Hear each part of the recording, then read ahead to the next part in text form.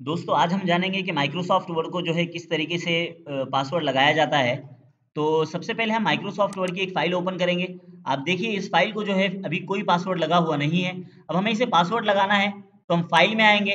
File में आने के बाद जो है इन्फो में आएँगे। इन्फो में आने के बाद प्रोटेक्ट डॉक्यूमेंट में आएँगे और यहाँ से दो नंबर का ऑप्शन इनक्रिप्ट विथ पासवर्ड पर क्लिक करेंगे। और यहाँ पर जो है हमें जो पासवर्ड चाहिए होगा, जैसे हम इसको फोर फाइव सिक्स एक पासवर्ड डाल लिए ओके कर देंगे। उसके बाद फिर से री इंटर करेंगे पासवर्ड को फोर फाइव सिक्स और ओके कर देंगे। और उसके बाद जैसे ही हम इसको सेव करेंगे तो जो है इस फ़ाइल को जो है पासवर्ड लग जाएगा। अब आप इस फ़ाइल को दोबारा से जब ओपन करेंगे तो ये विदाउट पासवर्ड जो है ओपन नहीं होगी, जब तक कि इसमें पासवर्ड ना डाला जाए।